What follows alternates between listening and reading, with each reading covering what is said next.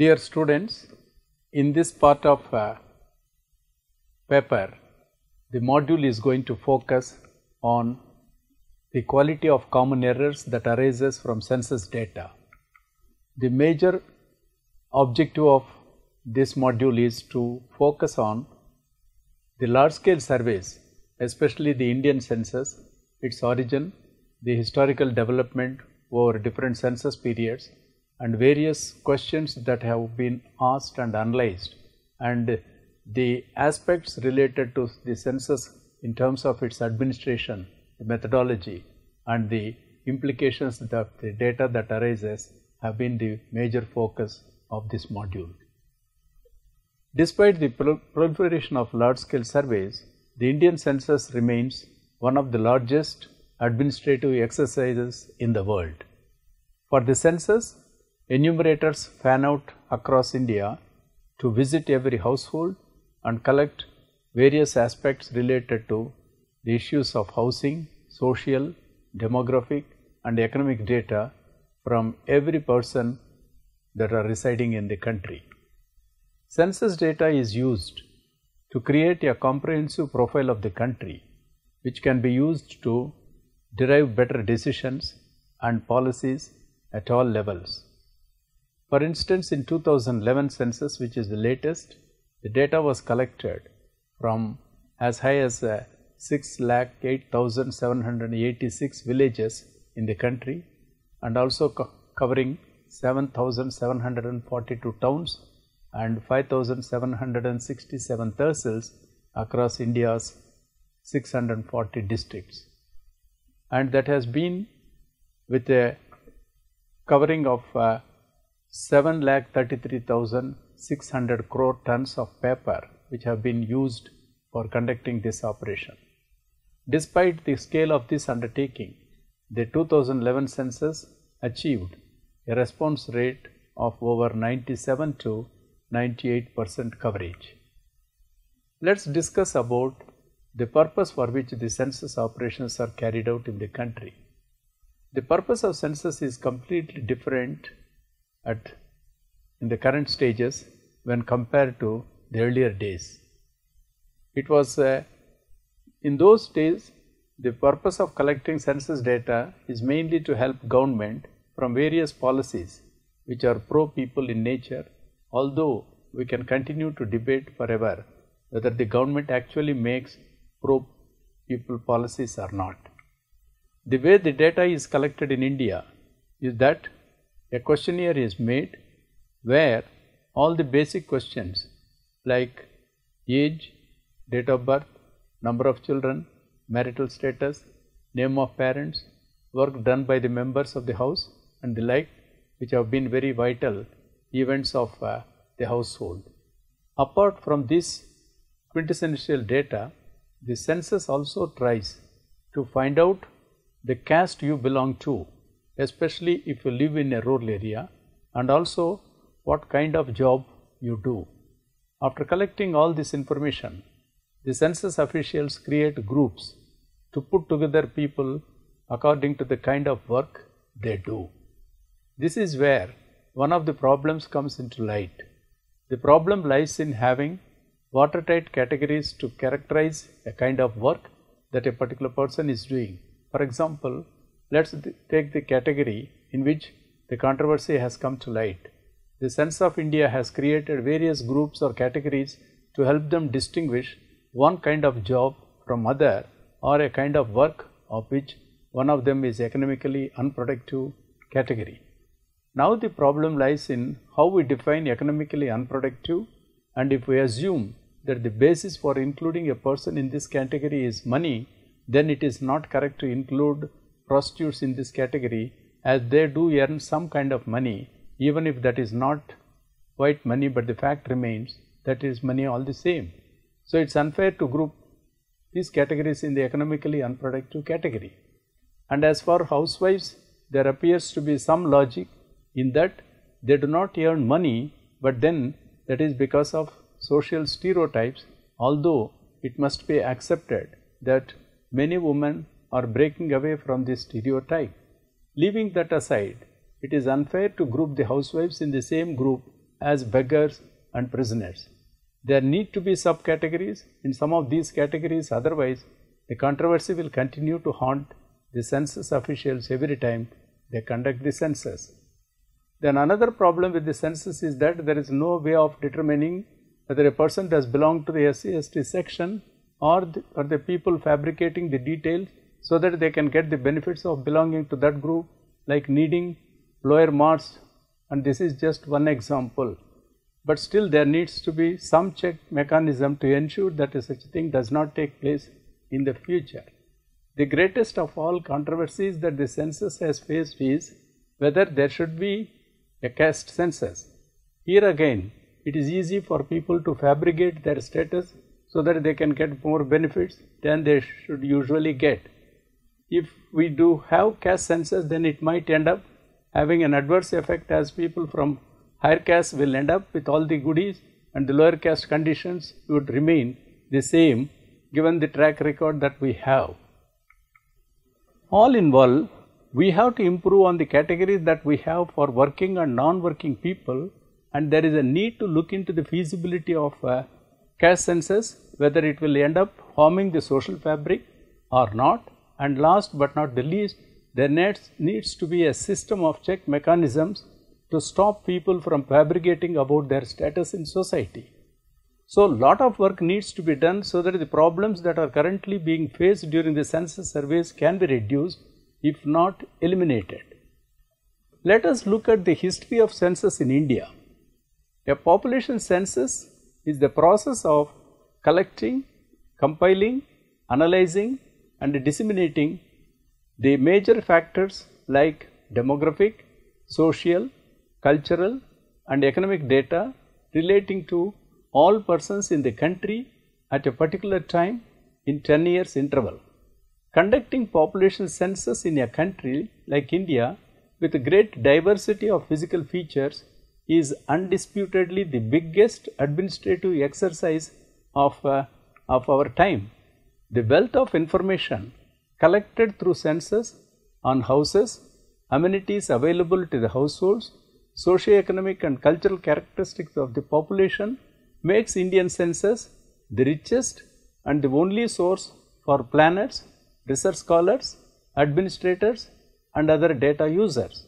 The planning and execution of Indian census is very challenging and also fascinating. India is one of the very few countries in the world which has a proud history of holding census after every 10 years. The Indian census has a very long history behind it. The earliest literature Rigveda reveals that some kind of population count was maintained during 800 to 600 BC. Kautilya's Arthashastra written around 321 to 296 BC laid stress on census taking as a measure of state policy for purpose of taxation.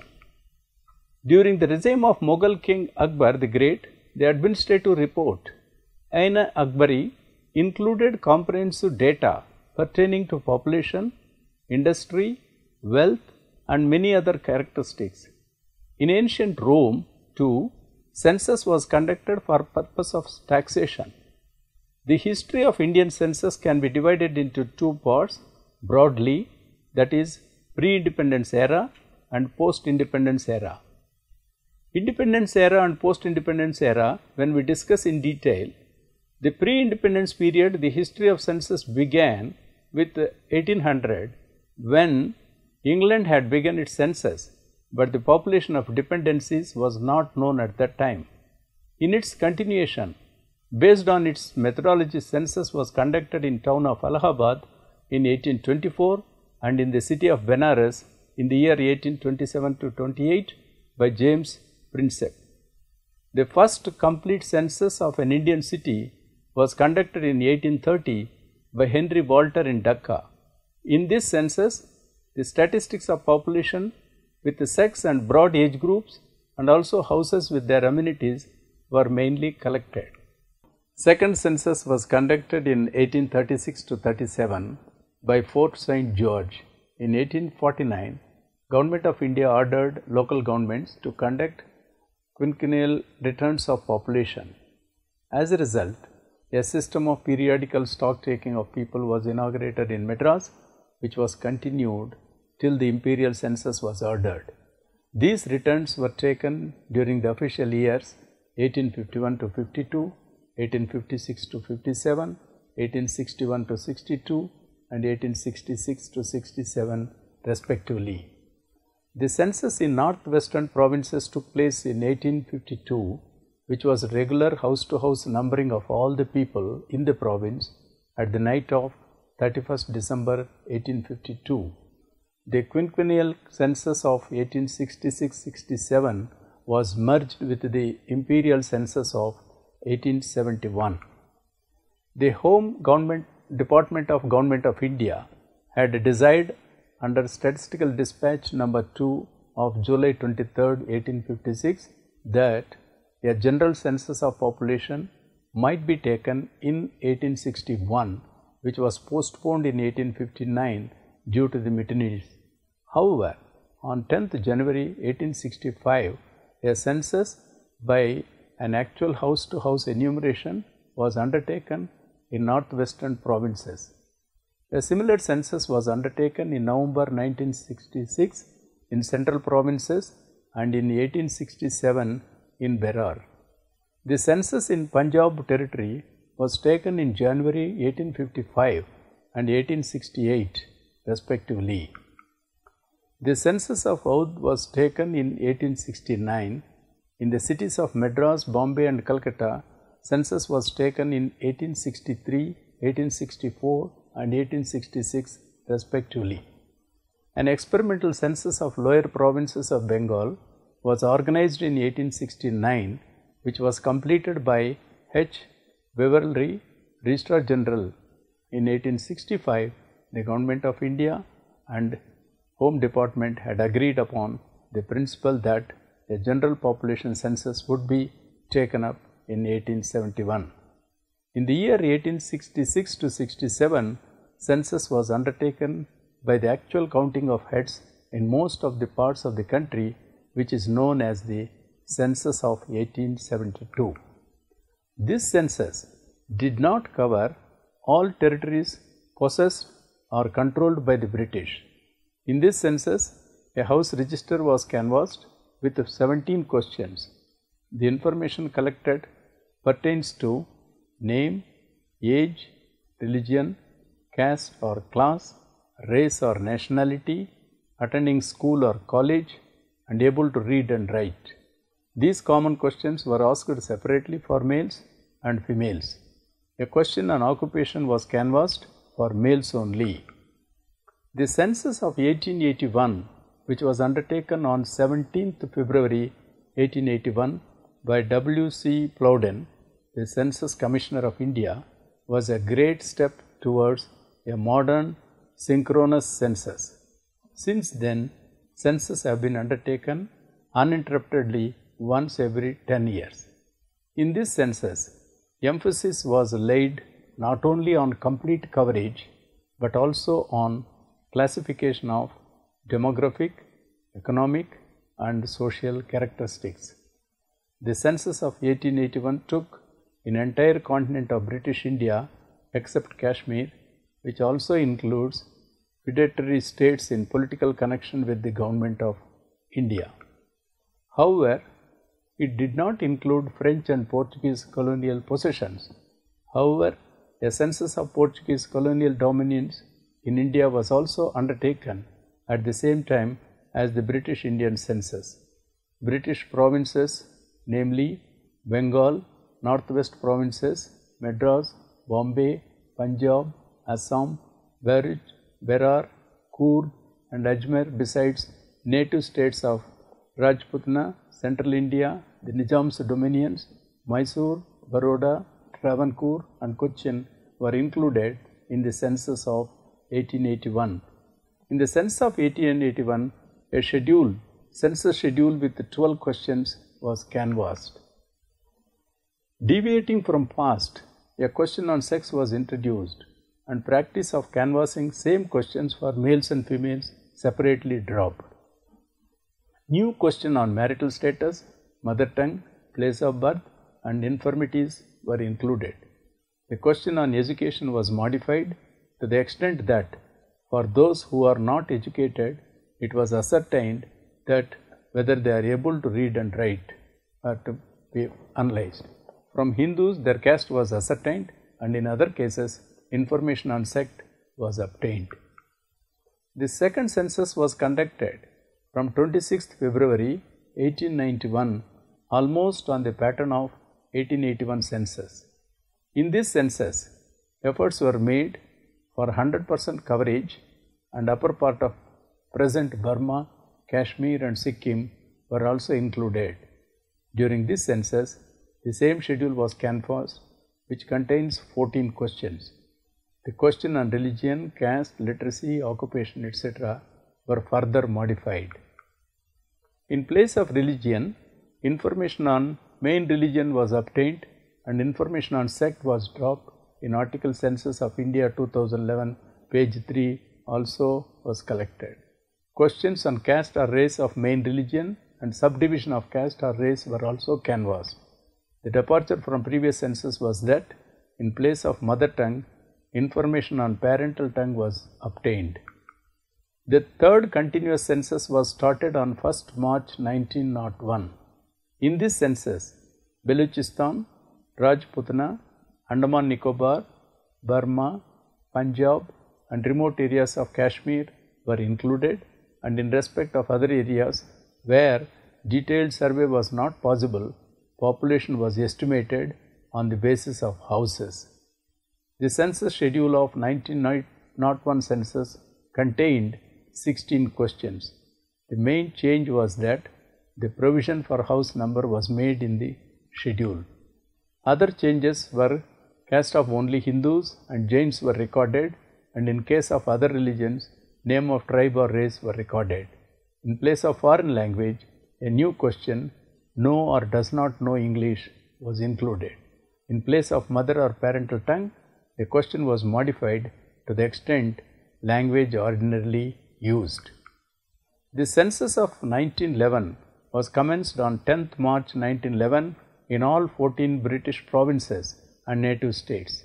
In this census, the whole empire of India, that is, territories administered by the government of India and mediatized native states were covered with the exception of a few sparsely inhabited and unadministrated tracts on the confines of Burma and Assam.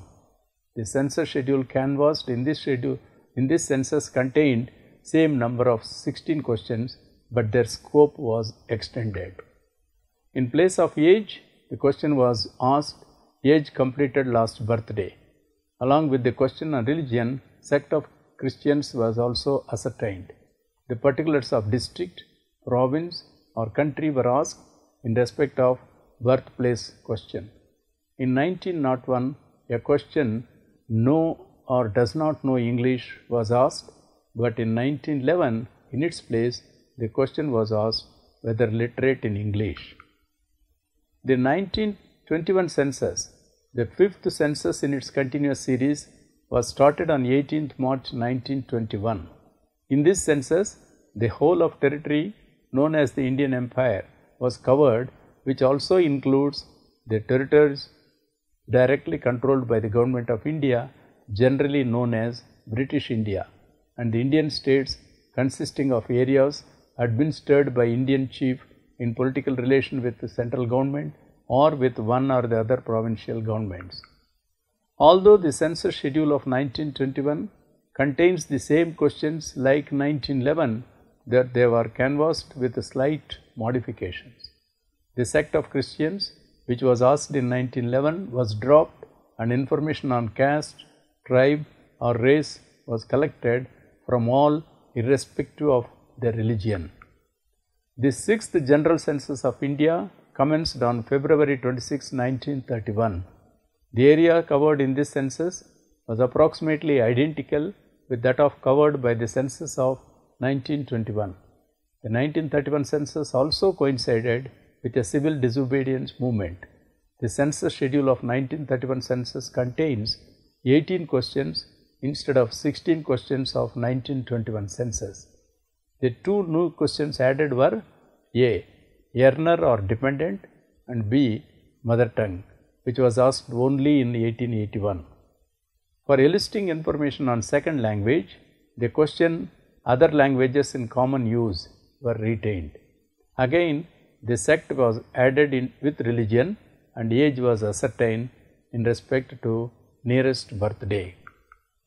The census of 1941 started under the adverse conditions of war. Till February 1940, government was undecided of whether to have a census or not. With concerted efforts, the enumeration was carried out directly into the slips while drop-in article Census of India 2011 page 4 were later sorted out to generate tables. The idea of one night enumeration was dropped in this census.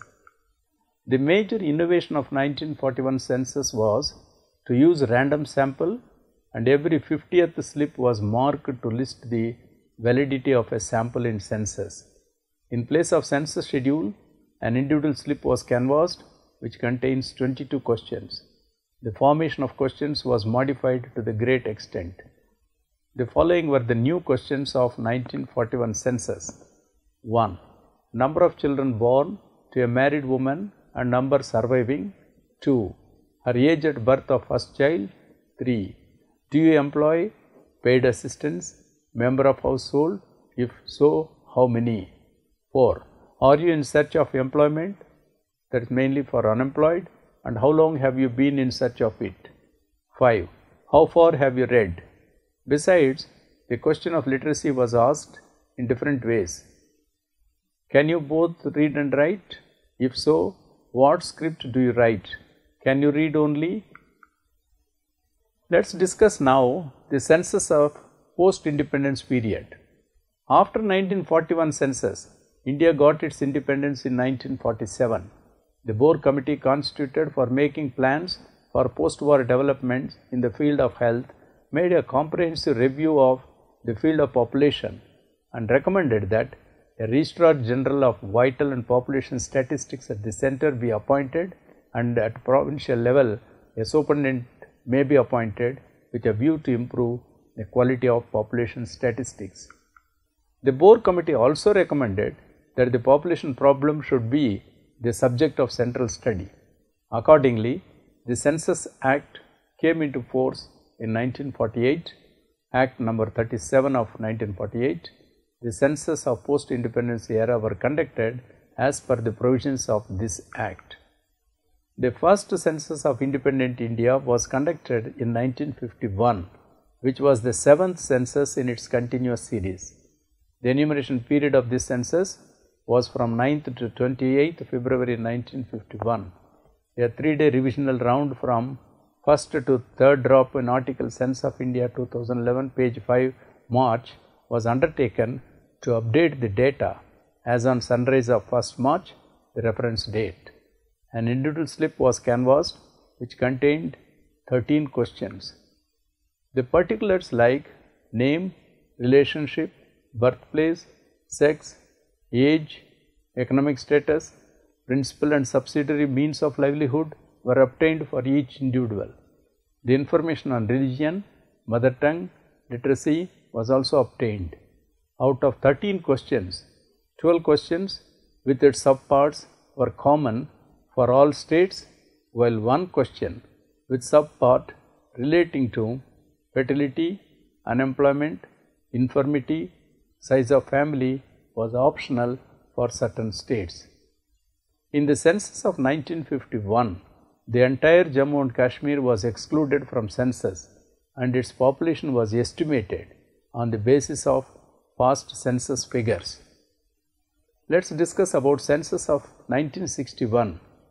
The census of 1961 started on 10th February 1961 and ended on sunrise of 1st March. The revisional round took place for 5 days instead of 3 days of 1951 census. However, the reference date remained unchanged. In place of individual slip of 1951 census, following two schedules were canvassed. A.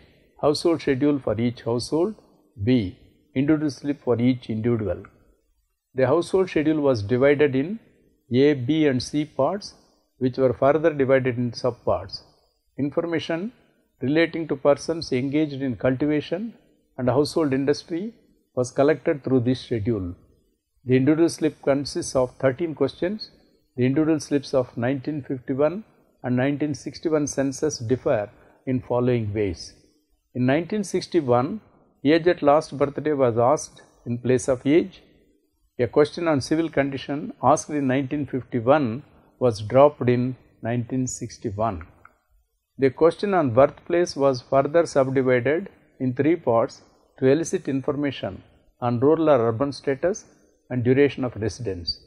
In 1951, information on economic status with dependency and employment status was obtained whereas in 1961 its scope was enlarged and the details of employment in four broad categories of workers with nature of industry, class of workers etc. was also obtained.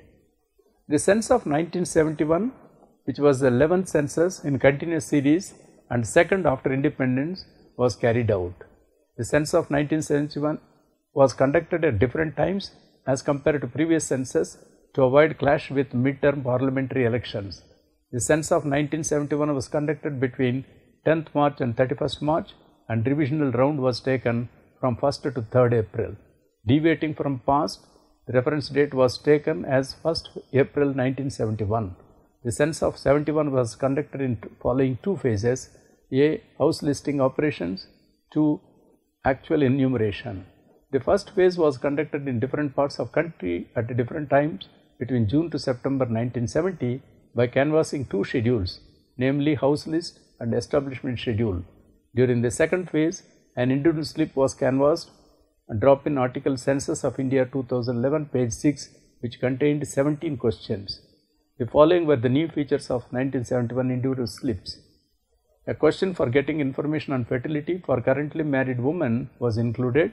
An additional question last residence was included to get the information on migration aspect in a better way. The scope of economic questions was further enlarged and a new question on secondary work was introduced. The fourth census of independent India which was conducted from 9th to 28th February 1981 with a revisional round from 1st to 5th March 1981. The reference date was again reckoned as sunrise of 1st March which could not be adhered to in 1971. On the pattern of 1971, this census was again conducted in two phases. In the first phase, a house list schedule was canvassed, but the establishment schedule which was canvassed during 1971 was dropped in 1981. Deviating from past census, in 1981, following two schedules were canvassed during second phase, household schedule and individual slip. The household schedule consists of two parts. In the first part, the particulars of household like religion, SC, ST status, language spoken and also predominant construction materials of wall, roof and floor were also collected. The information on amenities like drinking water, electricity, toilet facility available to the household were also collected in first part of the household schedule. In the second part, characteristics of each individual which were identical to individual slips were collected. Information on first few columns in part 2 of household individual slips were recorded in the field simultaneously while in remaining columns of household schedule the information from individual slip was transcribed later on. Following changes were incorporated in individual slip of 1981 census. The slip was divided into two parts 1 and 2. In first part 16 questions were included which were canvassed on universal basis. The second part contained 6 questions relating to migration and fertility which were canvassed on sample basis. In part 1, two new questions attending school or college and if non-worker seeking or available for work were included. In part 2, a question on reason for migration was also included.